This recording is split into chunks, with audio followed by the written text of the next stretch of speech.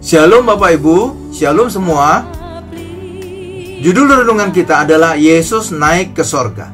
Kisah Rasul 1 ayat 2 sampai dengan 11 mengisahkan tentang peristiwa Yesus naik ke sorga.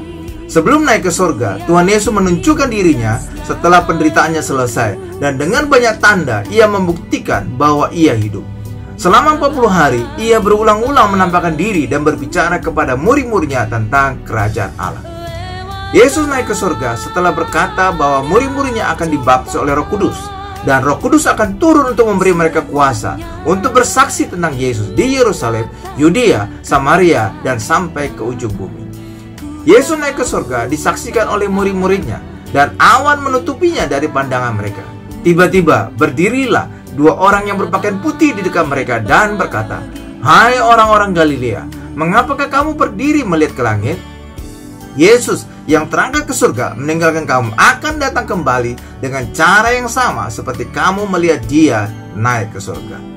Orang-orang Galilea bisa berarti orang-orang Israel yang terdiaspora ke seluruh dunia.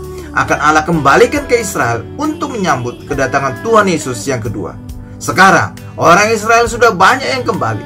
Bisa juga berarti orang Kristen, orang Galilea rohani yang akan menyaksikan kedatangan Yesus kedua di bukit Zaitun. Pada Yohanes 14 ayat 1 sampai dengan 6, Tuhan Yesus naik ke surga untuk menyediakan tempat bagi orang Kristen. Jika tempat di surga telah tersedia, Tuhan Yesus akan datang kembali untuk menjemput dan membawa ke surga, supaya di mana Yesus berada, kita berada di surga.